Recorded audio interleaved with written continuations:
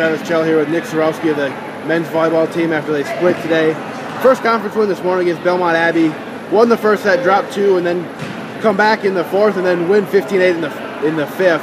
Talk about the kind of resiliency the team had this morning just to come back in that match to win win against Belmont Abbey. Uh, it was a hard match. We came in really sore from the two days or two games that we played yesterday. Uh, it took us a little bit to get into the momentum, but once we got into it, we all started playing together. Communication went up, and we started to play our game, keeping mistakes at a minimal, and came back to win it after a couple of losses. Uh, yeah, then you dropped the the second match here today to Quincy to go two and two on the weekend.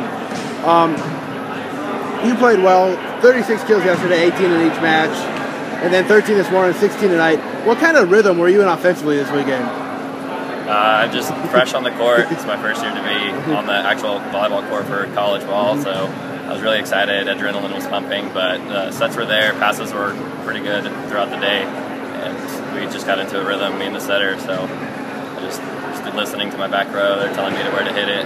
Just kept swinging high. Uh, yeah, a lot of volleyball this weekend. Good to have a few days off. What kind of momentum will this give you going forward into next weekend and then as we roll into conference play? Uh, it shows us a lot of uh, things we need to improve on, a lot of minimal things that we're starting to get all of the, the harder things, but we're always forgetting the small things that we learned a long time ago, and we just got to keep applying those and go back to being smart and fundamental. All right, thank you. Thank you.